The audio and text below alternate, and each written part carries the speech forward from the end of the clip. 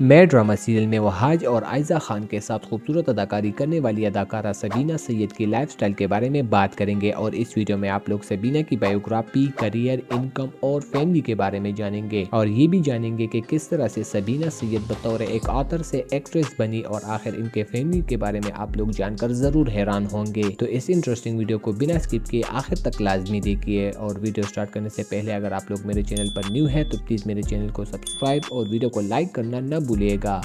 तो चलिए अब इनकी बायोग्राफी से स्टार्ट करते हैं। तो सबीना का पूरा नाम सबीना सैयद है। प्रोफेशन से एक पाकिस्तानी एक्ट्रेस मॉडल और ऑथर है। रिलीजन इस्लाम और नेशनलिटी से पाकिस्तानी और रशियन है। चौबीस अगस्त उन्नीस सौ सत्तानवे को मॉस्को रशिया में पैदा हुई।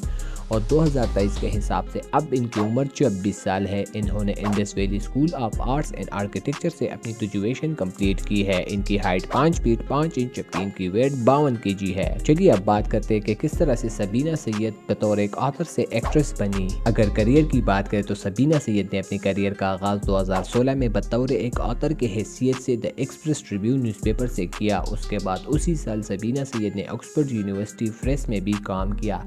लेकिन सबीना सैयद की लुक की वजह से इनको ब्रांड्स की फोटोशूट की ऑफ़र हुई, जिसके बाद सबीना सैयद पाकिस्तानी शोबिज में आई और 2017 में सबीना सैयद ने यकीन का सफ़र ड्रामा सीरियल से अपना डेब्यू किया, जिसमें इन्होंने अपनी खूबसूरत अदाकारी के जौहर दिखाए और इसके बाद 2018 में सबीना सैयद ने पाकिस्तानी फ़िल्म परवाज है जुनून में भी अपनी बेहतरीन अदाकारी का मुजाहरा किया।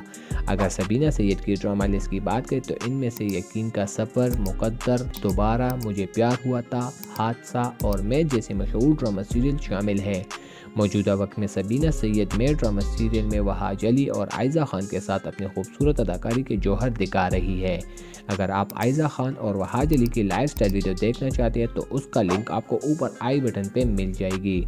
इसके अलावा सबीना सैयद ने दो पाकिस्तानी फ़िल्मों में भी काम किया है, जिसकी पिक्चर्स भी आप लोग देख सकते हैं। करियर के बाद अगर सोशल मीडिया अकाउंट्स की बात करें तो सबीना सैयद के सोशल मीडिया पे ऑफिशियल अकाउंट इंस्टाग्राम पर है, जिस पर इनके एक सौ उनतीस के फॉलोअर है, जो कि आप लोग देख सकते हैं और दूसरा अकाउंट इनका फेसबुक पेज है, जिसके स्क्रीनशॉट भी आप लोग देख सकते हैं।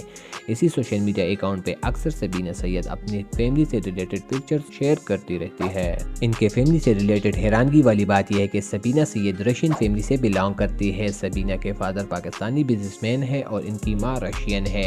इसके अलावा सबीना सैयद का एक छोटा भाई है, जिसका नाम दानियाल सैयद है। इधर आप लोगों का ख्याल होगा कि सबीना सैयद कहाँ रहती है, यानी इनका घर कहाँ पर है। अगर घर की बात करें तो सबीना सैयद का घर कराची में है और इनकी बाकी फैमिली रशिया में रहती है। इसके साथ साथ साथ अगर कार कलेक्शन की बात करें तो सबीना सैयद के पास एक ऑडी कार है, जिसकी पिक्चर भी आप लोग देख सकते हैं। और आखिर में अगर इनकम की बात करें तो सबीना सैयद पाकिस्तानी ड्रामा सीरियल के एक एपिसोड के साठ हज़ार रुपए चार्ज करती है। इसके अलावा सोशल मीडिया पे ब्रांड को इंडोर्स करके लाखों में कमाती है।